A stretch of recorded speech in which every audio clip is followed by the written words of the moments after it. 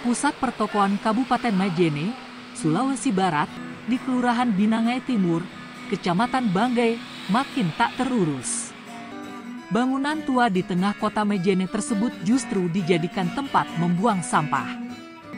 Pantauan Tribun Sulbar.com, Rabu, 24 April 2024, tumpukan sampah didominasi plastik sangat meresahkan. Tumpukan sampah tersebut ada di bawah tangga menuju lantai dua. Sampah itu mengeluarkan bau busuk karena sering ditempati orang buang air kecil. Bahkan, sampah yang dibungkus kantong plastik ini berserakan sampai ke depan toko. Sampah plastik tersebut sepanjang 5 meter. Menurut penjaga toko Halki mengatakan, sampah tersebut sudah berbulan-bulan berserakan di bawah tangga. Nah, tanggapan tak eh, tentang sampah yang berserakan di pusat pertokoan Kak? Tanggapanku kalau bisa diangkat semua, bersihkan semua karena apalagi di akhir-akhir ini bisa marak lagi yang namanya penyakit DBD.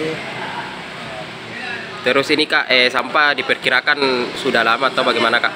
Kalau sampah ini kayak agak lama nih, kan baru tadi di sini beberapa bulan ada memang di sini kak. Hmm.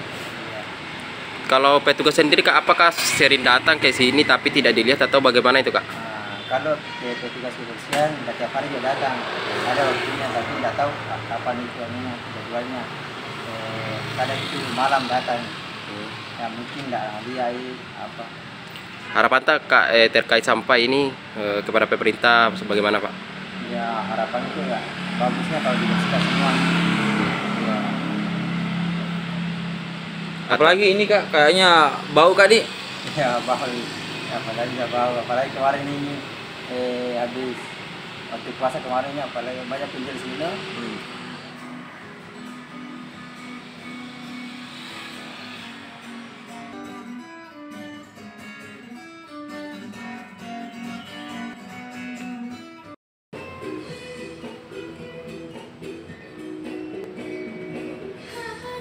Download Tribun X sekarang. Menghadirkan lokal menjadi Indonesia.